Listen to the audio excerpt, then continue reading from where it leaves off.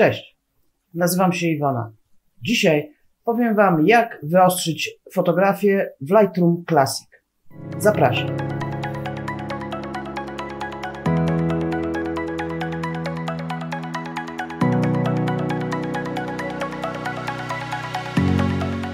Pliki RAW to zrzut danych z matrycy aparatu cyfrowego. Surowy, nieobrobiony materiał. Poza edycją ekspozycji czy koloru, warto go również wyostrzyć. Gdzie znajdziemy narzędzia do wyostrzania? Wchodzimy oczywiście w zakładkę Develop i tutaj poniżej mamy Detail. Rozwijamy sobie, proszę bardzo. I tutaj mamy cztery suwaki, które odpowiadają za wyostrzenie naszego obrazu. Zwróćcie uwagę, że w momencie zaimportowania zdjęcia jest ono już automatycznie wyostrzone. I jakie ustawienia zaproponował nam program po zaimportowaniu zdjęcia? Wartość na 40, promień 1, detal 25, maska 0.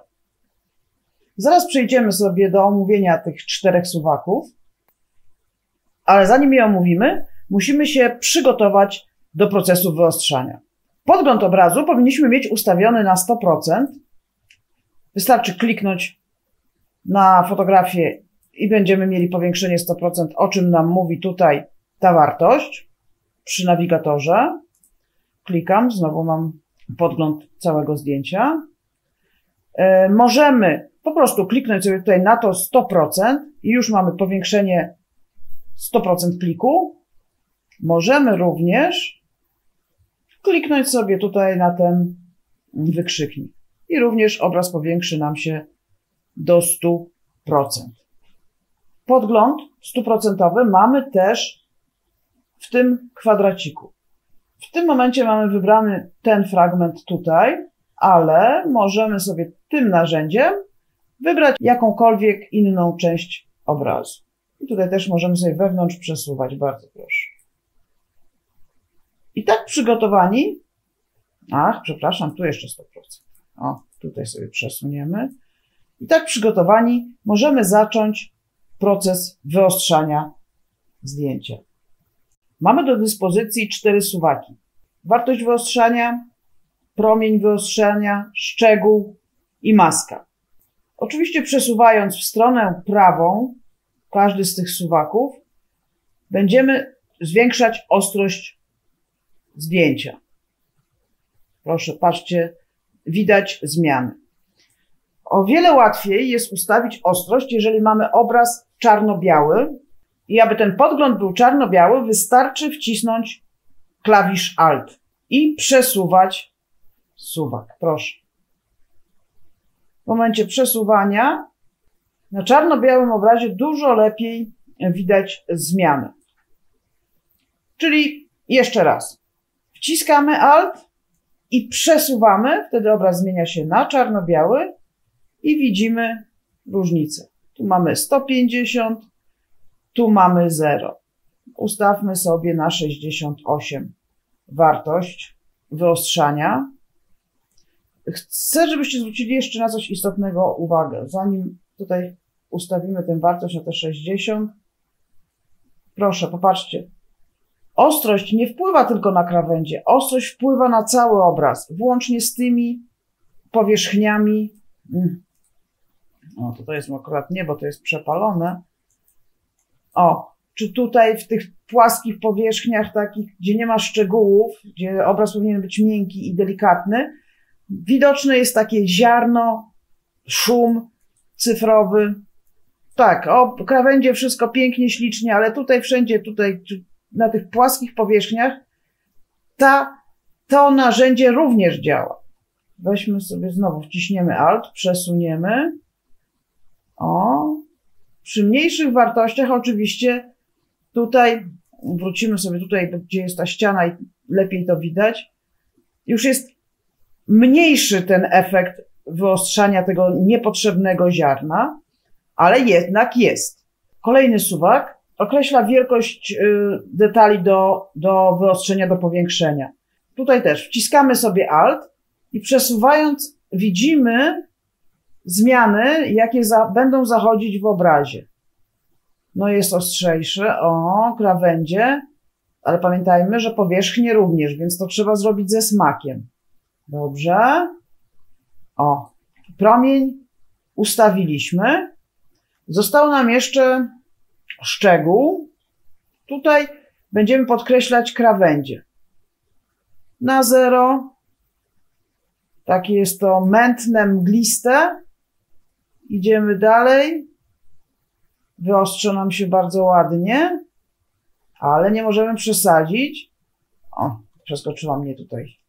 Ale nie możemy przesadzić, bo pamiętajmy, że również wyostrzają nam się płaskie, gładkie powierzchnie, które chcielibyśmy, żeby były gładkie, a nie w jakimś ziarnie czy niepotrzebnym szumie.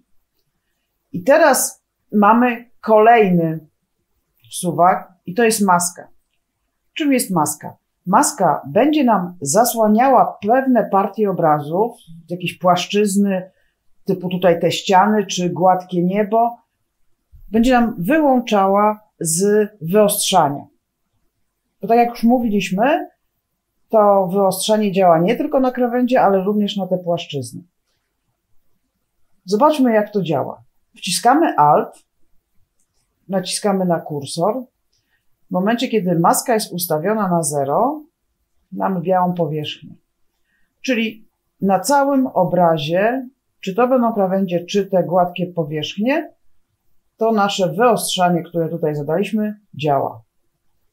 Przesuńmy teraz, oczywiście z wciśniętym altem, kursor w stronę prawą. Pojawiają nam się czarne powierzchnie. Te czarne obszary to jest informacja, działanie mas, gdzie, gdzie działanie mm, wyostrzania zostało wyłączone, przysłonięte. Efekt wyostrzania mamy tylko w tych białych miejscach, w tych białych krawędziach, a pozostałe, te czarne, wyłączają nam wyostrzanie. I popatrzcie, już teraz tutaj na tej powierzchni nie ma tej takiej nieprzyjemnej mory ziarna. Tak samo, o, na ścianach też jest ładnie czysto. Przejdźmy na chmurki. Też są gładkie, bez ziarna, bez szumów.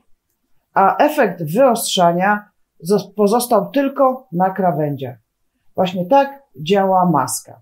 I zobaczmy efekt naszego wyostrzania. Tak to wyglądało przed wyostrzeniem, a tak po procesie wyostrzania. Jest różnica. W zakładce presety, o, poszukajmy, mamy już gotowe ustawienia na wyostrzanie. Zobaczmy, co się stanie, kiedy wciśniemy non.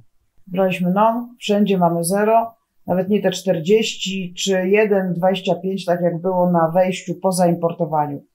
Nic, 0. Teraz mamy, proszę bardzo, ustawienie light. Wartość mamy 25, 1, 25 i 0. Średnia ostrość 45, 1, 25 maska, czyli podobne do takiego, jakie oferuje nam program po zaimportowaniu. No i mocne wyostrzenie. Wartość 75, promień 1, detal 25, maska 0. Poza możliwością wyostrzenia całej fotografii, można wyostrzać punktowo. Wystarczy wykonać maskę. Proszę bardzo, tutaj tym narzędziem wybieramy pędzel, zaznaczamy obszar, który chcemy wyostrzyć. No tutaj weźmiemy ten zegar, malujemy sobie pędzlem. Pędzel, rozmiar pędzla możemy zwiększać, zmniejszać. Wtapia, wtapianie również możemy zwiększać, zmniejszać. Gęstość mamy na 100, no niech sobie będzie. O, i zaznaczamy ten zegar. W sumie tam w środku, ale już trudno. Ten środek nie musi być zaznaczony, bo nam chodzi tylko o wyostrzenie mm, cyfr, liter i wskazówek. Więc możemy sobie na przykład wziąć gumkę i tutaj ten obszar wyłączyć z wyostrzania. Wyostrzone będzie tylko to, co jest zaznaczone na kolor różowy. No i teraz tutaj wśród tych różnych opcji wyszukujemy sharpness. No i tutaj wyostrzamy sobie. O, tak jest maksymalnie wyostrzone. O, no tak. Może na tą, to czerwone pole to jest jakieś ostrzeżenie, więc lepiej tam nie wchodzić. I możemy sobie tak punktowo wybrane fragmenty wyostrzać. O, wyszliśmy z maski. Wracamy do maski. Możemy utworzyć nową. Możemy malować na tej samej. Jak komu wygodnie. Jeżeli zrobimy nową maskę, to będziemy mogli mm, inny, inny poziom wyostrzenia zastosować.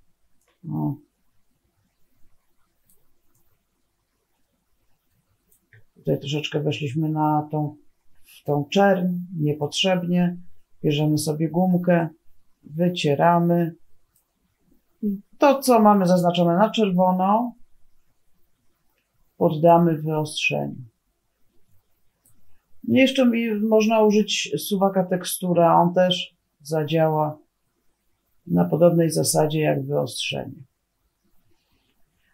No i to na tyle o wyostrzaniu. Mam nadzieję, że mój film Wam pomógł. Zapraszam do obejrzenia innych moich filmów i do usłyszenia.